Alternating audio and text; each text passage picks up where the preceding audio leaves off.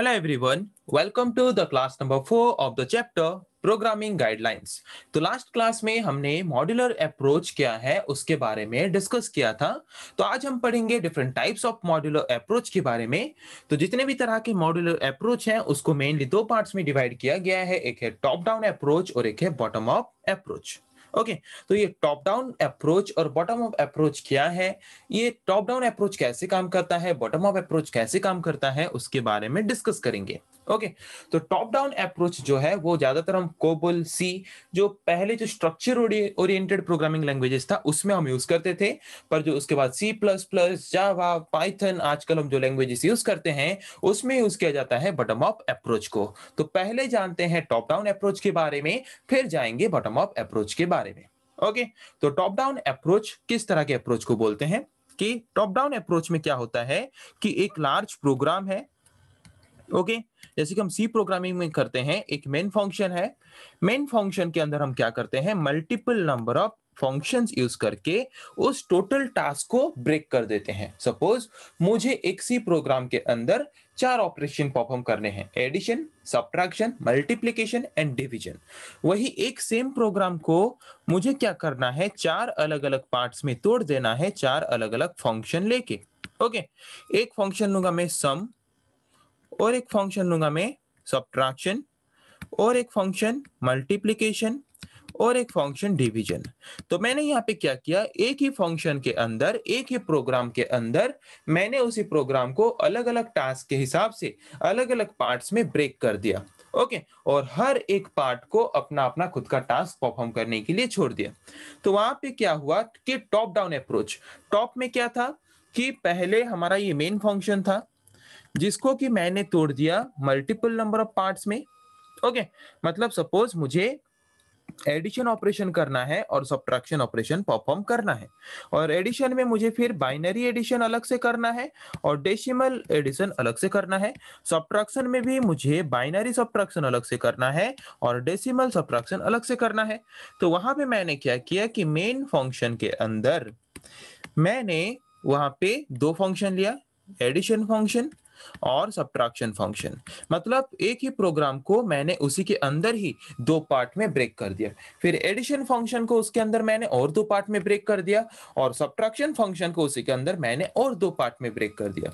तो यहाँ पे टॉप डाउन अप्रोच में क्या होता है कि हम अगर कोई programming language top down approach support करता है तो टॉप डाउन अप्रोच यूज़ करके अगर काम करता है तो वहाँ पे हम एक प्रोग्राम को क्या करते हैं, उसी प्रोग्राम के अंदर ही और भी छोटे छोटे पार्ट्स में स्मॉलर पार्ट्स में उसको स्प्लिट कर देते हैं या फिर उसको ब्रेक कर देते हैं। ओके तो ये अप्रोच ज़्यादातर किस तरह के प्रोग्रामिंग लैंग्वेज में यूज़ होता है? स्ट्रक्चर्ड प्रोग्रामिंग लैंग्वेज में, जैसे कि कोबोल सी इस तरह के प्रोग्रामिंग लैंग्वेजेस में हम ज़्यादातर यूज़ करते हैं इस तरह के अप्रोच को।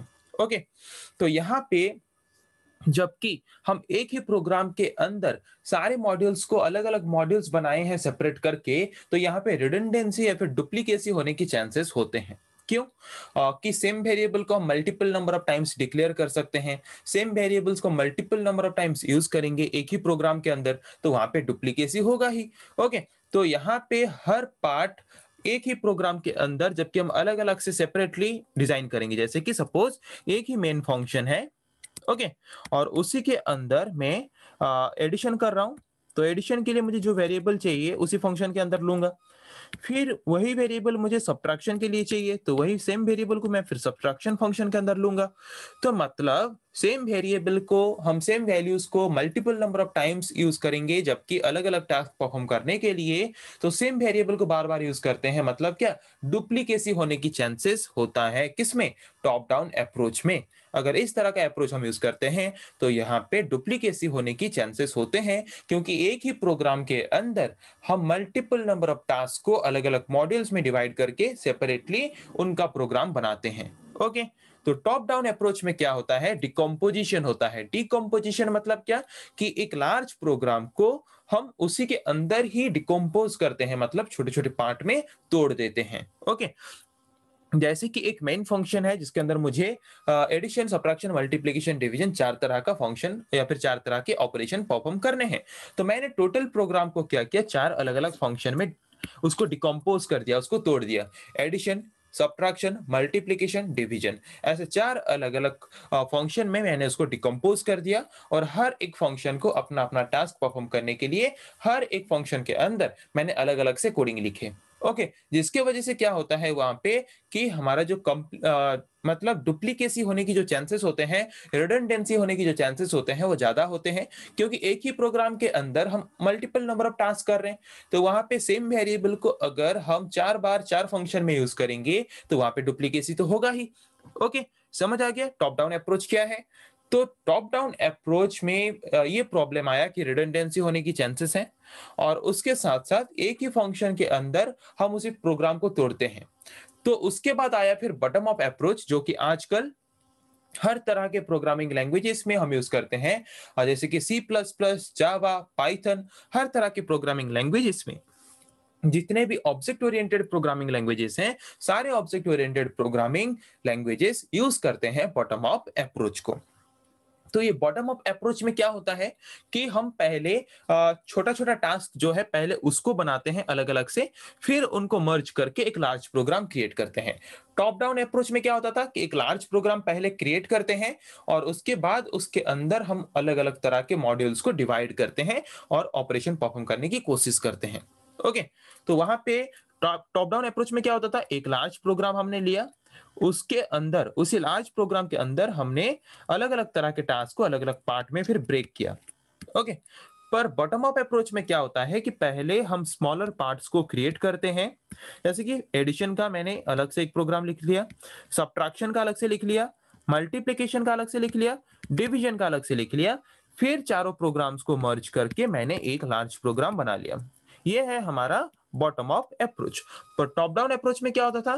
पहले एक मेन क्लास लेके एक लार्ज प्रोग्राम क्रिएट करते थे, फिर उसके अंदर multiple number of functions use करके हम उसको क्या करते थे?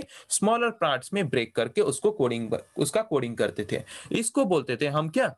टॉप डाउन अप्रोच तो बेटर कौन सा है?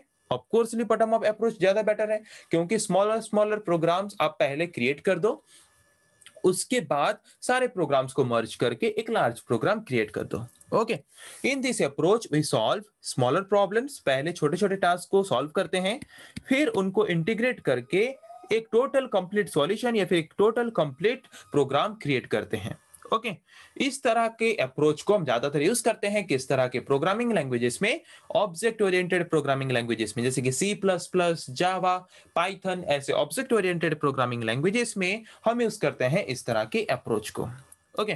जैसे कि टॉप डाउन अप्रोच में क्या होता था कि एक ही फ़ंक्शन के अंदर, एक ही मेन फ़ंक्शन के अंदर हम क्या करते थे? सारे टास्क को परफॉर्म करते थे इंडिविजुअली सेपरेटली जिसके वजह से वही सेम वेरिएबल को हम अलग अलग टास्क के लिए बार बार यूज़ करते थे। जिसके वजह से रिडंडेंसी या फिर डुप्लीकेसी होने का जो चांस है, वो बहुत ही ज़्यादा होता था। पर बॉटम अप अप्रोच में हम क्या करते हैं? सारे प्रोग्राम्स को इंडिविजुअली अलग अलग से करते हैं। एक जगह पे नहीं करते जिसकी वजह से क्या होता है? सारा टास्क हम अलग अलग से परफॉर्म कर रहे हैं। तो यहाँ पे डुप्लीकेसी होने की चांसेस ही नहीं है, क्योंकि हम सारे टास्क एक ही जगह पे कर ही नहीं रहे टॉप डाउन अप्रोच में हम क्या करते थे? एक ही फ़ंक्शन के अंदर मेन फ़ंक्शन के अंदर सारे टास्क को परफॉर्म करते थे, जिसकी वजह से डुप्लीकेसी होने की चांसेस होती थी। पर बॉटम ऑफ़ अप्रोच में हम क्या करते हैं? जैसे कि मैंने एडिशन वाला एक अलग से क्लास बना के उसका प्रोग्राम लिखा सब्ट्रैक्शन वाला क्लास बना के एक अलग से प्रोग्राम लिखा मल्टीप्लीकेशन वाला क्लास बना के अलग से प्रोग्राम लिखा, और डिवीज़न वाला क्लास बना के अलग से प्रोग्राम लिखा। फिर सारे क्लासेस को मैंने एक ही मेन क्लास लेके, सारे क्लासेस को मैंने वहाँ से कॉल कर दिया या फिर सारे क्लासेस को मैंने वहाँ पे ऐड कर दिया। ओके okay, तो यहाँ पे क्या होता है कि हम सारे प्रोग्राम्स को सारे स्पेसिफिक टास्क को सारे मॉड्यूल्स को अलग अलग से परफॉर्म करते हैं और अलग अलग से परफॉर्म करने के बाद फिर उनको हम कंपोज कर देते हैं। कंपोज करना मतलब क्या? कंपोजिशन करना मतलब क्या?